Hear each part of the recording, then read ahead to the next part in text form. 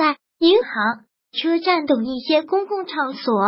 我们不难看到“军人优先”这样的提示牌，但是